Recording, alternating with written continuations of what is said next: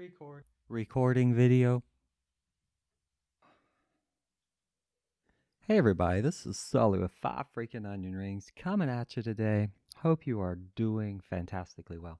I have a quick tip for DaVinci Resolve, and I'm sure we've all been through this where we go through our edit and we have done all our cuts and we've added in our stuff, and then we realized our color correction wasn't right, and we have 50 clips and we have only color corrected one. And I wanted to show you a simple tip on how to save that color correction as a profile and apply it to multiple clips at one time. And it's really awesome. And, and not even only can you save one profile, but say you have two or three cameras and you have two or three different color profiles you want to have in the same one, you can save those and apply the same one to each individual clip in multiple, in batch, in all. It's a great feature of DaVinci Resolve. It's really, really cool. And it's really simple, and we're really going to get into it. But first, if you like this type of content, give me a like, thumbs up, subscription. Let me know down below what you think about. It. And if you have any other things you want to look at in DaVinci Resolve, and we will jump right into it right now. Here we are in our color. Make sure you have notes open, and uh, if you click on clips or timeline you can see that I have a ton of clips here and I've only color corrected one.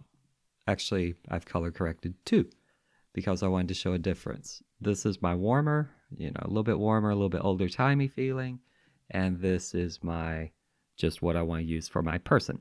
I haven't corrected any of the others. This is always a problem I've had where I do one and then I have to go through and copy and paste, or there are many ways you can do this. If I wanted to, I could say select this clip go back to the original that has the grade on it, right click and apply grade, and it will pop me into the new grade. So this is the ungraded, this is the graded.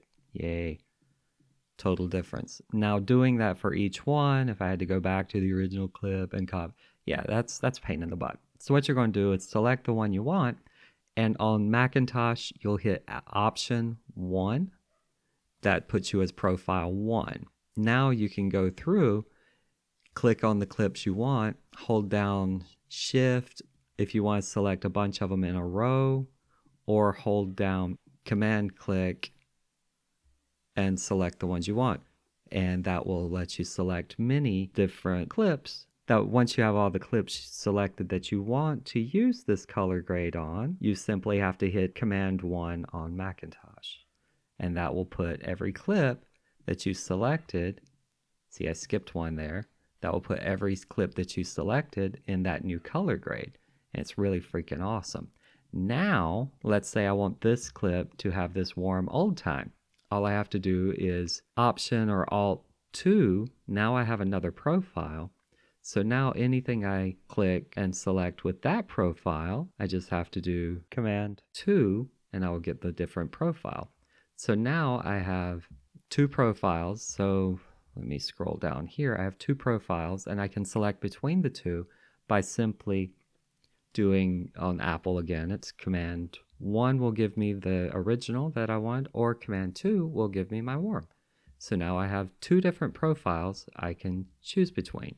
And this is really helpful if you're not sure which one you want to use. So say you have a couple clips and you like certain parts for, of each one, you can set up two profiles and all I'm doing is switching between control 1 and control 2 or command 1 and con command 2 since I already copied those profiles. And now you are able to easily go through an entire timeline, highlight all, and I can move them all to the same, the same one, or I can move them all to another one. Saved me so much trouble because uh, if you have a couple cameras set up, you can color correct for one camera and select all the clips from that camera and you can color correct for the other camera, select them all and set your profile and you're off to the races.